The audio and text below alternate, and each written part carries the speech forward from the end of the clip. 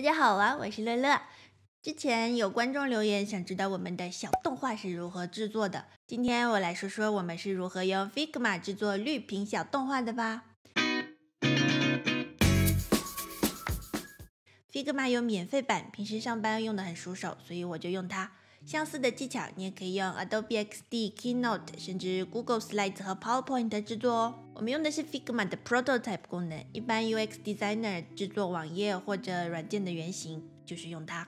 如果两个相连的 frame 里面元素都是相同的名字，用 Auto Animation 做 transition 的话，就会让这些元素从第一个 frame 的形态，咻变向第二个 frame 的形态。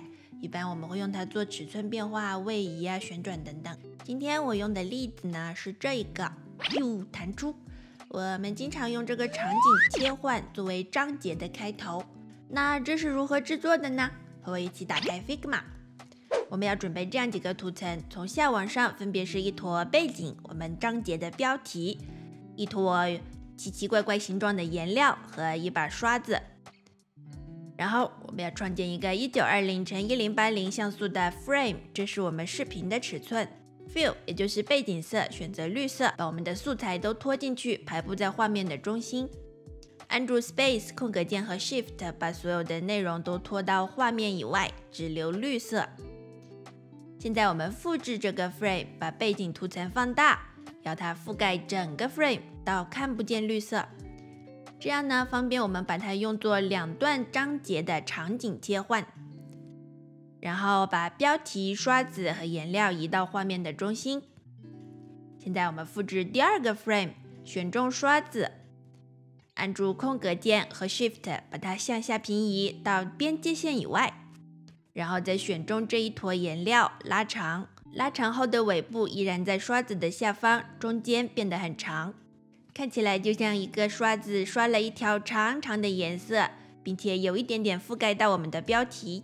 现在我们要开始制作动画，在右上角把 Design 切换到 Prototype。现在我们看到了有几个小圆点，从第一个 Frame 的圆点拖出来一根箭头，指向第二个 Frame。现在有一些选项可以用，Trigger 它的默认是点击 Click，但是我们不希望在画面里出现一个莫名的指针，对不对？所以我们改为 Key，也就是按键。我一般就定义为 A，简单好记。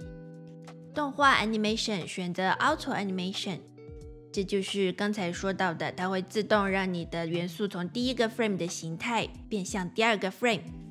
Ease 可以选普通的 ease out，就是速度由快到慢到零。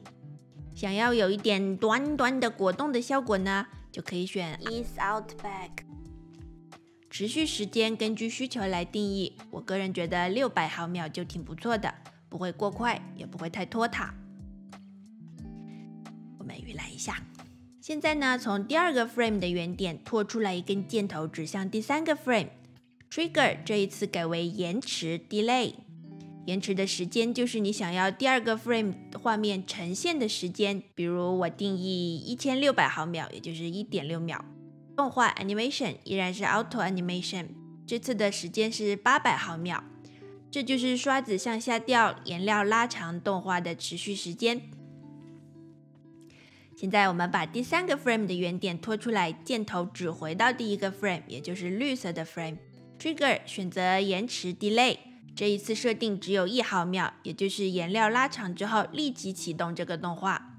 动画还是 Auto Animation，这次我选两百毫秒，非常迅猛的让它全部退出画面。现在看看完成的效果，如果满意的话，就用录屏工具把现在的动画录下来，放入你的剪辑工具。不论你是用的哪种剪辑工具，应该都是有自动去除绿幕或者蓝幕功能的。我用的是 iMovie，原因很简单，因为它免费。如果你的动画内容需要用到绿色的元素，比如我们的有一些植物的小动画，那么我们就可以用蓝色作为背景。这时候你去除掉蓝色背景，就可以看到小动画啦。好啦，今天的分享就到这里啦。如果有问题，也可以给我们留言哦。喜欢的朋友记得订阅、分享、点赞啦。拜拜。